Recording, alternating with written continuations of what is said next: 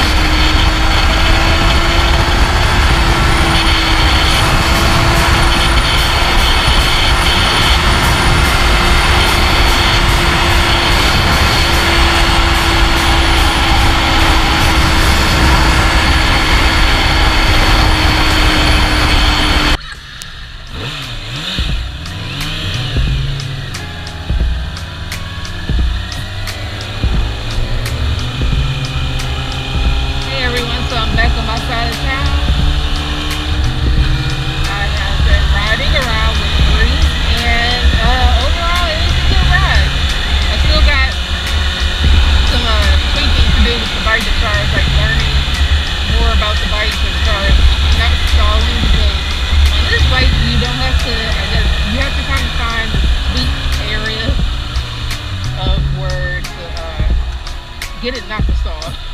Because my old bike, I can, uh, I would have to, my old bike, I would have to pull the clutch in all the way for it to go. But with this one, I don't have to.